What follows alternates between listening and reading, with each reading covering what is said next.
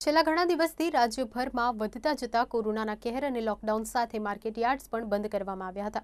સરકાર દ્વારા લોકડાઉનના બીજા તબક્કાની સાથે વધારો કરવામાં આવ્યો, તેમ છતાં લોકડાઉનમાં માર્કેટયાર્ડ સહિતનાઓને કડક નિયમોના પાલન સાથે છૂટછાટ આપવામાં આવી છે.